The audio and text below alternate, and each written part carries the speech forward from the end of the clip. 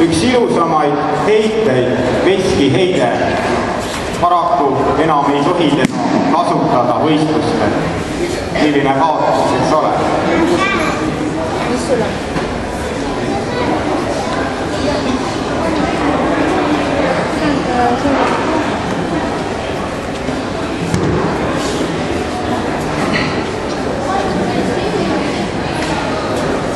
see on siis Visele enda. Et sellega meie heiteosa läbi, et nüüd tegeme, tegesime siis randoorit, et randoori on selline õppevõitlus ja tehakse siis äh, võtteid ja liikumised ja üritatakse vastane kinni võtta nii, et ta ei saaks ennast liigutada, et see punkt igal juhul sulle tuleb mitte ka vastu.